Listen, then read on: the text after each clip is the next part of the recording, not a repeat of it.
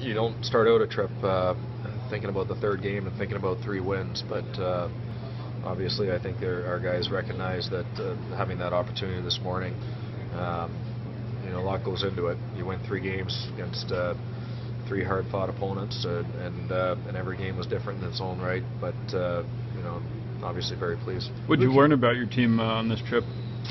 Well, we said I, didn't really learn anything. It just kind of reassured it. We said that nobody was going to quit in our room. We know that we got a tough task, and uh, um, you know, I guess if I, if I learned something, it's that we were we were able to kind of just stay focused on the immediate task at hand, and and uh, you know that's what's going to be really important for us. So, you know, that's we we we've climbed back in it a little bit here, and that's that's good. But there's still an awful lot of work to do, and um, so this before the trip started, I asked our guys not to be focused on standings, not to be looking ahead um, or behind, and uh, and I think the same is going to apply when we get back.